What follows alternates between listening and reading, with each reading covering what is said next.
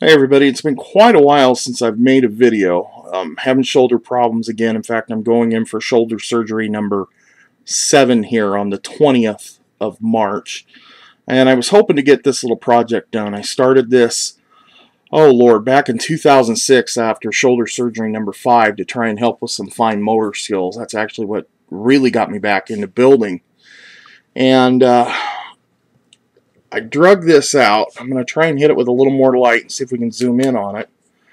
Um, it had a hole from where the bodies got glued together. And I uh, first tried using a little bit of uh, Bondo. You can't see it now. It's probably the best. Then the guys at the hobby shop um, gave me or told me to use uh, this stuff here made by MDM. It's the green putty. I've got it zoomed in so it's hard to see that. But what I'm having a problem with now, and I wish I could get a better look at this, maybe I will uh, take a still photo of it and post it, is I'm getting some cracking right here um, ahead of where the hole was now.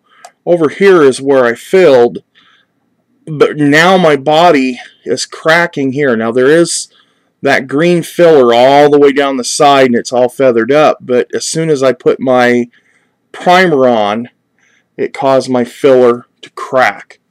Um, I was just wondering if anybody else has had problems like this uh, what they have done to uh, remedy it. Um, and like I said uh, this is the stuff the guys at the hobby shop suggested I use.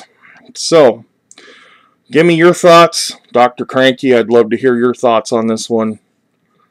Um, like I said, I want to get this one done before the 20th, before I go under the knife again, just so I am showing something accomplished for once. Uh, thanks a lot, and uh, love to hear your comments.